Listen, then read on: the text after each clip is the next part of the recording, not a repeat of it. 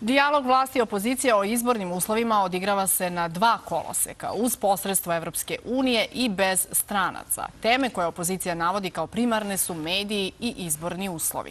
Šta je sa aktualnim političkim pitanjima poput smera briselskog dijaloga koji je najaktualniji posle učarašnjih, kako mnogi ocenjuju, propalih pregovora? Gosti jutra, Vladimir Orlić, član predsjedništva Srpske napredne stranke. Dobro jutro, hvala što ste ovde. Dobro jutro, hvala na. I Vojn Biljić, podpredsjednik Dosta je bilo. Dobro jutro vama, hvala što ste ovde. Juče održan dijalog u Briselu i sad možemo, kada pogledamo naslovne strane svih novina, da zaključimo da je propao, da se ništa epohalno nije dogodilo. Hajde krenemo od vas, gospodine Biljiću da ste na vlasti, šta biste vi drugačije, šta biste uradili drugačije odnosu na Vučića? Pa, ja prvo moram da ovaj kažem da e, cela suština problema koji e, koji imamo vuče neke e, neke svoje uzroke iz nekih ranih grešaka. Ja sam ne bi previše da kritikujem te stvari, ali moram da kažem da od samog brislavskog sporazuma preko kasnijeg načina vođenja pregovora, ja ću podsjetiti, Srbije je odmah ispunila sve na što se obavezala brisarskim sporazumom. Faktički smo povukli državu sa Kosova i Metohije, sve državne institucije, Albanci nisu ispunili e, ništa. E, mi smatramo da je mnogo bolji način bio da su recimo prestacije vršile e, međusobno. Pa mi e, ispunimo nešto, oni ispune nešto. Isto ovaj tako smatramo da je ozbiljnost u pregovorima jako važna. Ja mislim da generalno sastavi delegacija koji su bili ranije Đurić, pa sad Petković i tako dalje, nisam siguran koliko mogu da odgovori izazovima koji su pa kako bih ja poslao, svako i poslao najjači sastav koji imamo trenutno, a ne verujem da su i ranije Đurić i sada Petković najjači sastav koji imamo, ali mi vidimo, mi vidimo, da, što je predsjednik žete vred. Mi, mi trenutno imamo, neće previše da kritikujem taj deo, jer imamo zaista sad ozbiljnu situaciju gdje je državni nacionalni interes da pronađemo jedinstvo po tim po tim pitanjima da bi su mogli da zaštitimo interese i države Srbije i našeg naroda. Meni se ne čini trenutno da je situacija ružičasta. Čini mi se da ovo što se desilo juče u e, Briselu ukazuje na e, dve jako velike opasnosti. Jedna je opasnost od upada i tu moramo bez svake dileme da pošljemo poruku snage, moramo da jačamo vojsku više kao faktor odvraćanja, ne e, manje iz nekih drugih razloga i smatram da ne samo nijednog trenutka da upadnemo u zamku, da nam se desi, recimo da imamo neki veliki pritisak, pa da onda nakon tog pritiska potpišemo nešto što je manje od britanskog sporazuma. Evo da recimo vi uh, učestvujete u dijalogu i da čujete da Kurti kaže da neće da prihvati neke od tačaka, posebno o uzdržavanju od akcije koje bi potencijalno ugrozilo uh, situaciju na terenu. Šta biste vi rekli? Pa evo, ja ću vam ispričati jednu anegdotu koju je Saša Radulović ispričao kad je bio sa Dačićem kod Vilijama Hega povodom, baš uh, povodom Kosova. To je bilo pre nekih deseta godina gde je William Hague otvorio tu priču sa Srbija se obavezala da će ispuniti to i to. Pa onda Dačić krenuo da objašnjava kako odnosi Engleske, Nemačke i tako dalje. Ove ga saslušao do kraja i ponovio ponovo. Srbija se obavezala da će ispuniti to što je potpisala i mi to očekujemo od Srbije. Znači, eh, ono što smatramo to je da stalno treba da podsjećamo na obaveze koje imaju po brislavskom sporazumu, da oni jednostavno, s obzirom da ništa do sada nisu eh, ispunili, moraju da implementiraju nešto od toga. Ja bih se držao toga. Znači, to je stvar koju bih e, stalno ponavljao i stalno zahtevao da ispune ono na što su se obavezali.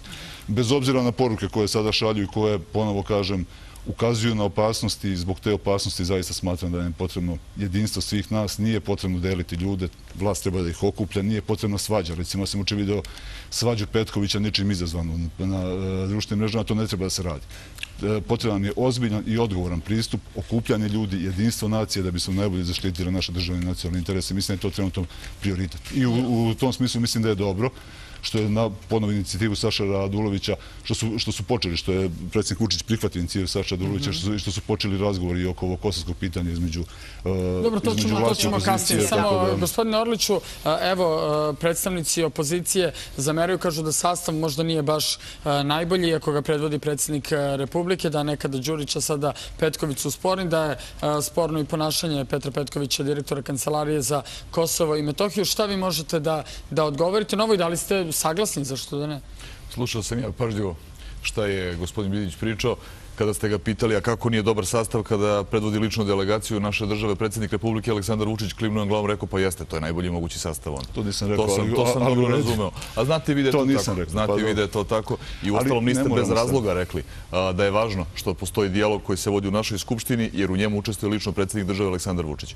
I vama i meni, u ostalom svim u Evropi, i ako hoćete bilo kome, potpuno jasno da je to onda razgovor na najvišem mogućem nivou. Ako razgovarate sa Aleksandrom Vučićem. I jasno i ovima u Briselu, kao što je jasno i nam u Skupštini koji razgovaramo ovih meseci e, o nekim drugim pitanjima.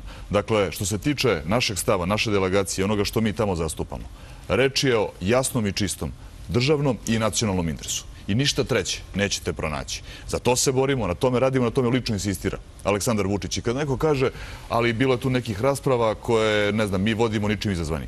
Nismo mi ti koji su se ponašali iracionalno tamo. To su radili Kurtijovi njegovi. Dakle, mi smo otišli tamo sa idejom da razgovaramo o važnim stvarima, a nisu nevažne stvari kada pričate o bezbednosti ljudi. Kad treba nekome da garantujete da može da živi. Tako je, da može da živi, da može svakoga dana da kupi hleb da ne mora da strahuje da li će neko da mu upadne da ga protera. A vidimo da ne može. U čemu je onda pojenta dijaloga ako vidimo da povratnici na Kosovo ne mogu da žive normalno i nemaju normalne uslove za život? O tome govori Aleksandar Vučić. I suočio je i ljude iz Brisela, ali pre svega ovi iz Prištine, sa spiskom svih onih nacionalno motivisanih zločina koji su počećeni. Je li to spisak koji držite u ruci, onaj koji je predsjednik juče pokazao u Briselu? Tako je, koji je pročitan i pokazan i koji je matirao ove iz Prištine. Dakle, kada su čuli šta su sve radili, a ovde je vrlo jasno, precizno navedeno i to su sve sami zločini počinjeni prema Srbima, dakle napadi, o tome reč, različiti primjeri kako su ljudi ugroženi zato što su Srbi i samo od početka ove godine do današnjeg dana toga ima preko 80 slučajeva. Mislite li da upravo takvi primjeri mogu da učine nešto pozitivno za srpsku stranu? Oni pokazuju kakva je situacija. Oni pokazuju sa čim se suočavamo i na čemu ozbiljni ljudi, ozbiljni političari treba da rade. Ali kad vi nemate sa druge strane ozbiljne političare, imate ekstremiste poput eh, Kurtija koji je u stanju da priča pa, notorne nebuloze. Jer čuli ste o čemu je te čovjek govorio. On se vraća u period šta je bilo pre 200 godina, ajde mi da raspravimo 1878. Ne možete da verujete šta slušate. Ne mogu ljudi iz Evrope da veruju šta slušaju. Ali kad se oni tako ponašaju, ne možete da kažete mi učestvujemo u nekoj raspravi, a ne bi trebalo. Dakle, oni su se trudili da na svaki način zagade atmosferu, da unište taj dijalog, da izazovu reakciju, da isprovociraju nas, što Aleksandar Vučić naravno vrlo dobro zna i nikada neće da im izađe u susret po tom pitanju, jer zna da je to njihova igra, da je to deo njihove taktike. Ali oni su ti koji su se potrudili da to sve bude tako kako je bilo. Mi smo insistirali na tome da se priča o ozbiljnim stvarima, konkretnim, da se garantuje bezbednost ljudi, da svi kažu, evo sad ćemo da se ponašamo ozbiljno, da zaštitimo običan narod, to nisu hteli da prihvate. Dakle, otvoreno poručuju oni iz Prištine, Kurtijovi, njegovi, ne, mi zadržavamo pravo za sebe, da maltretiramo ljude ako mislimo da nam se to isplati. Dakle, to je njihova jedina poruka. Znači, samo još jednu stvar da vam kažem pre nego što gospodin Biljić ovaj stvari raščini dalje. Što se tiče 2013. i da tu budemo načisto. Apsolutno niste u pravu. Kada kažete da smo mi tada uradili nešto pogrešno vezano za pisarski dogovor i za sve ono što smo radili nadalje.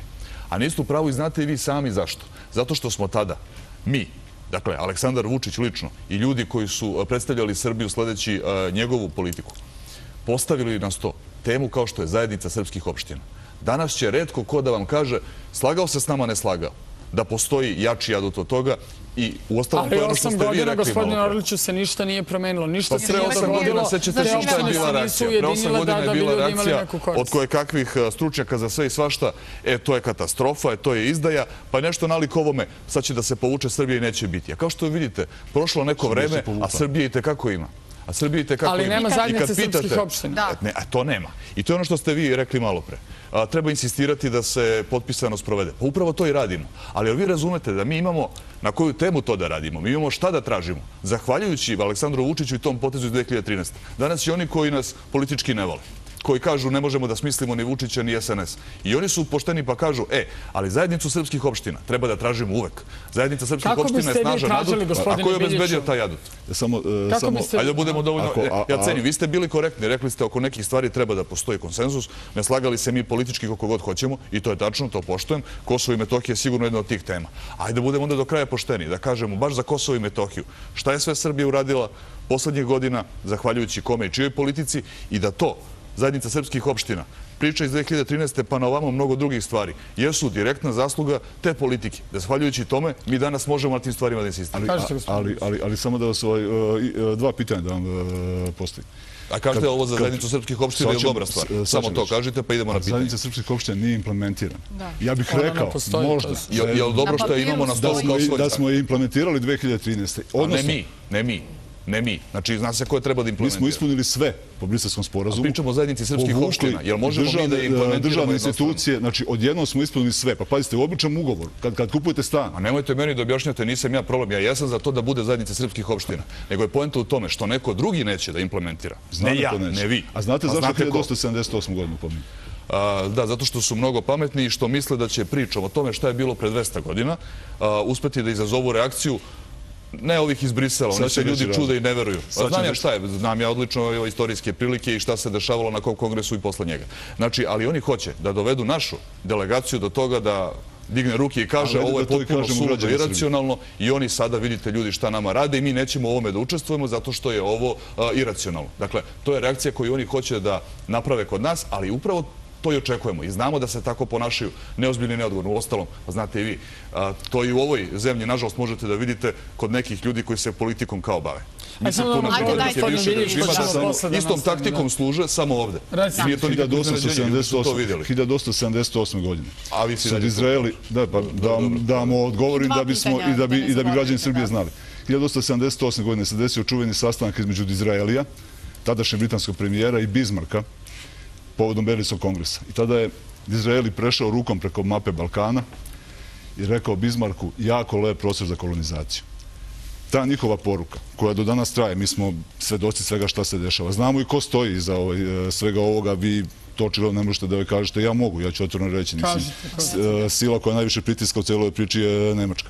I to je, e, e, to je nešto što nam se dešava punih 200 godina, od te 1878 godine. Ja bih rekao da mi najveći problem imamo zbog tih pritisaka, ne zbog samih albanaca. I rekao bih, to je ono što, zbog čega smatram da je ovo zaista ozbiljna situacija, da njihovo ponašanje u tom smislu mora da nas podigne i na najveći mogući nivo jedinstva, sve nas, i mora da ovaj, e, podigne na najveću moguću uzbunu sve državne organe da moramo biti spremni za bilo koji scenarij. Dobro, kako biste vi to rešavali? Kako biste se vi... jeste tema na kojoj treba da insistiram. Ništa više od toga. Kako biste vi insistirali? To je moje pitanje. Ja se potpuno slažem, ali trebali smo i 2013. 14. i da je sreća do sada bismo imali.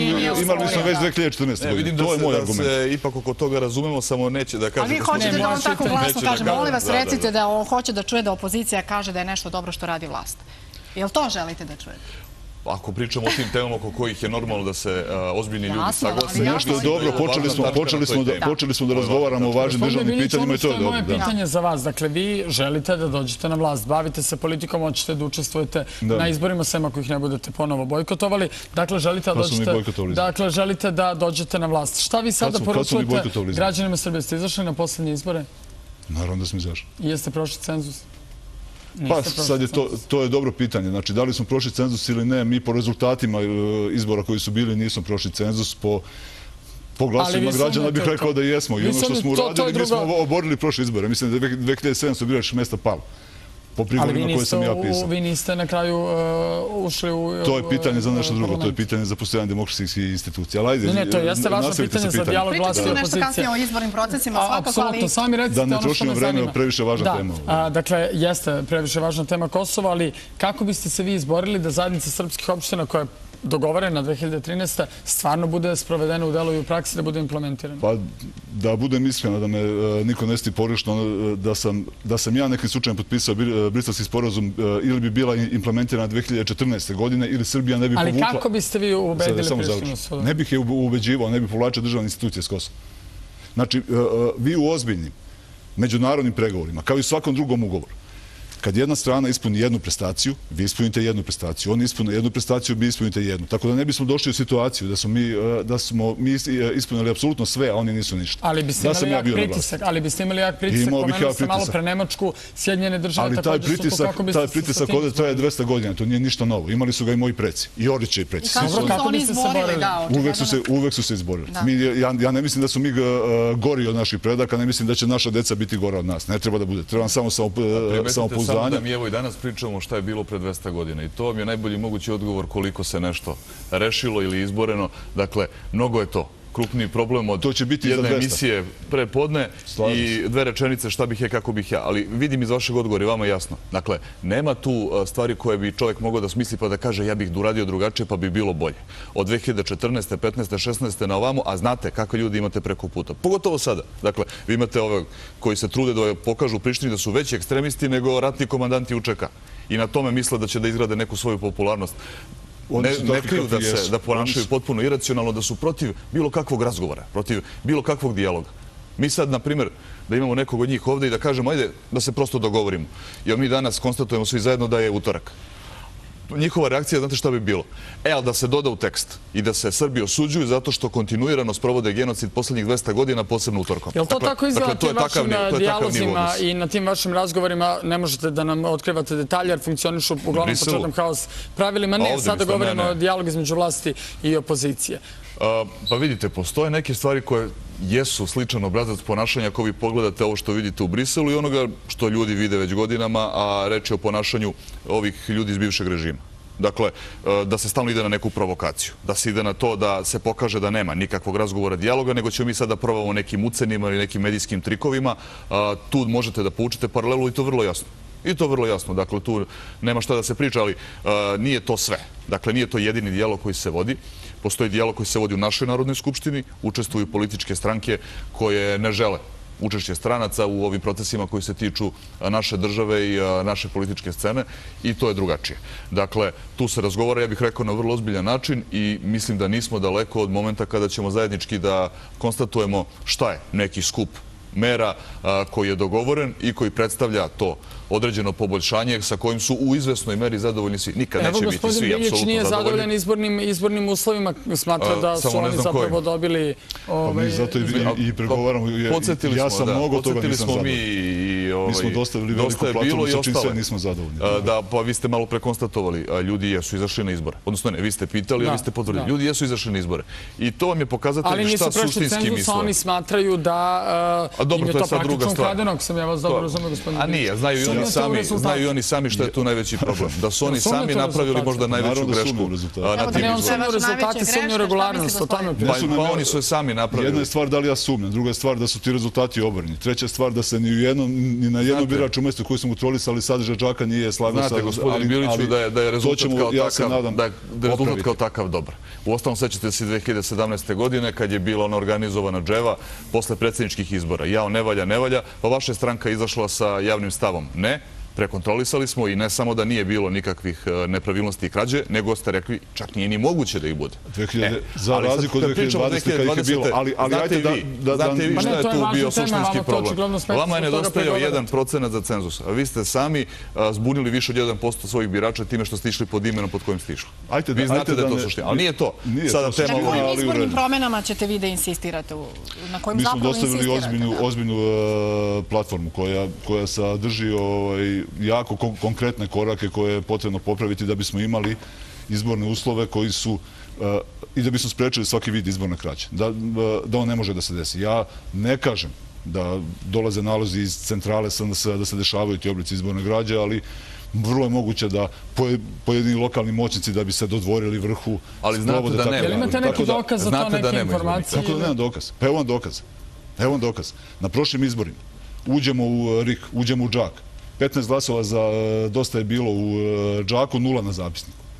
Četiri takva džaka proverimo, ni na jednom se nastavimo. Imam jedno pitanje za vas. Je li vaš čovjek potpisao taj zapisnik?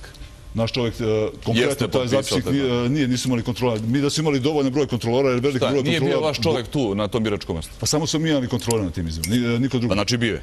Na tom izvornom mjestu nisam imali kontrolor. A niste Na tom nisam Ali druga stvar, sve da... Samo ali otkud znate onda šta je bilo u džaku, odnosno šta nijete niste imali... Kontrolisao sam džak i zapisnik. Pa kažete niste imali kontrolora? Pa kontrolisao sam džak i zapisnik, vidim što piše u zapisniku što imam u džaku. Ali čak i to, vi ste znači kontrolisali. Ja lično bio u Riku. A jeste rekli Aleksandru Vučiću, znači, recimo, evo, znači neko je bio, to samo da, pošto ste sad rekli, odgovarajući na pitanje gospodine Orlića. Pa znate šta, ja, ja ne pretpostavljam da su kontroli kriminalci. Bio je neko, bio je neko i vaš, bio je neko iz ovaj, nekih trećih stranaka. U tome jeste problem što nama je cilj pregovora da sprečimo sistemske mogućnosti izborne krađe. I da vratimo legitimitet izbornog procesu. Da niko sutra ne može da kaže ovo što ja sad govorim. Da li ste vi njemu rekli predsjedniku Pa i ne može legitimno. Ja sumnjam Dobro, ja ovo mogu da kažem legitimno jer sam provjeravao džakom. Ja onda uvijek pitam, gde je vaš čovek na biračkom mestu? I svi znaju da imaju svoje ljude na biračkim mestima i da svaki njihov čovek pogleda svojim očima, pipne svojim rukama pa svaki listić pa nekaju potpiše. Pa čekaj, jer vi to šaljete poruku da je krađa legitimna ako nema nikog na biračkom mestu. Pa ja se ne slažem. Ja da vi imate ljude na biračkim mestima, kao i svi ostali koji na izborima učestvuju. I svi znaju da je to tačno. I svi ti ljudi učestvuju u kontroli izbornog postupka celog dana, na kraju učestvuju u brojanju, na kraju potpišu te zapisnike. I kad vaši ljudi potpišu zapisnike, onda nakon dođete i kažete tu nešto ne valja. Šta može bilo ko nego da slagne ramenima? Samo da pa slagne ramenima. Znate šta? Što potpisuje to ono što sam... Ajte da pretpostavimo da je moj čovjek na biračkom mestu, nepošten. Ajte da rekao ste nepošten? Nepošten. I da je moj čovjek na biračkom mjestu iz nekog razloga mrzi mene, čovjek koga sam ga ja postio, to se dešava u politici i, da, i da hoće da mi ukrade glasove.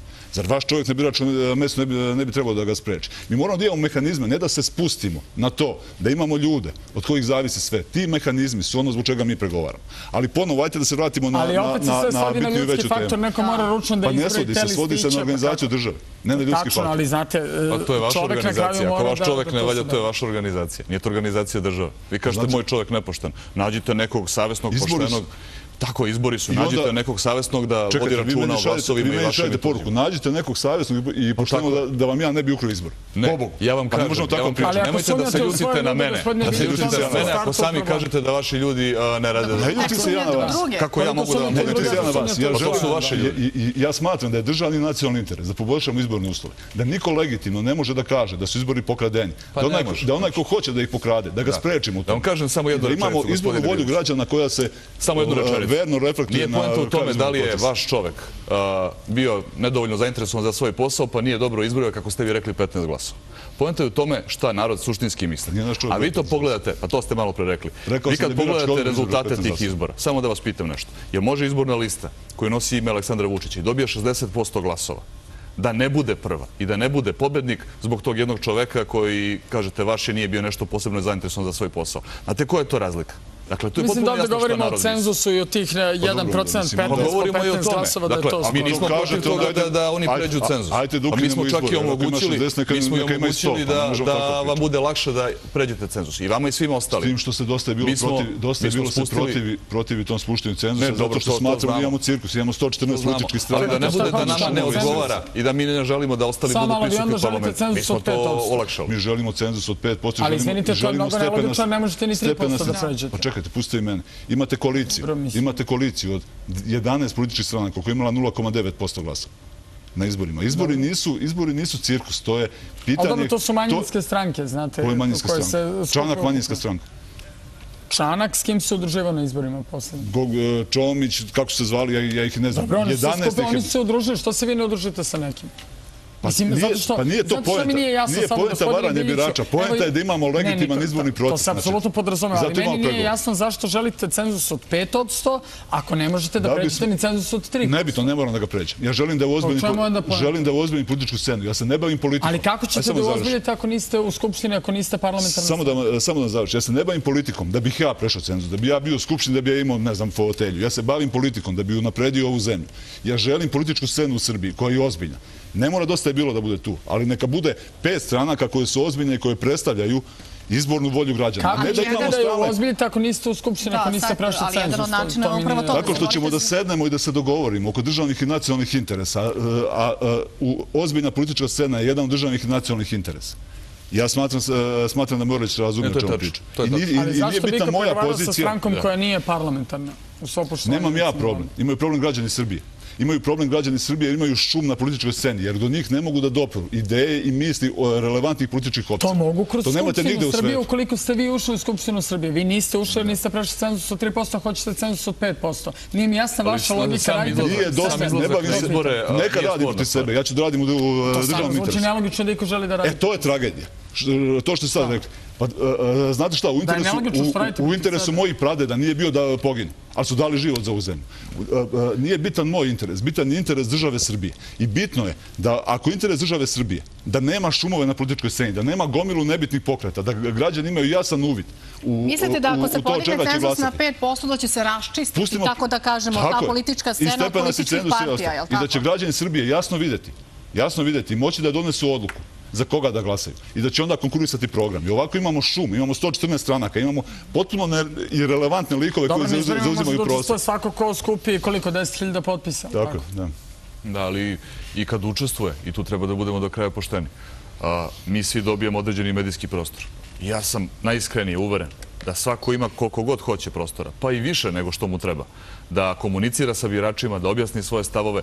Sećam se, učestvovali ste i vi u ovoj kampanji prethodne godine, učestvovao sam i lično, znam da smo svi predstavnici različitih izbornih lista bili po svim mogućim televizijama, pričali, učestvovali u debatnim emisijama, pa evo i sada vidite. I sada imamo na raznim televizijama prvi korak i to je dobar od javnog servisa pa nadalje. Što se nas tiče, vrata su vam uvek otvorena, to znate. I kao što vidite, niko nema problem sa tim da razgovaramo, ako naravno imamo o čemu, ono što je suštinski problem je ne, da li se mi slažemo ili ne slažemo oko nekog političkog pitanja. Normalno je se ne slažemo, zato i nismo u istim strankama.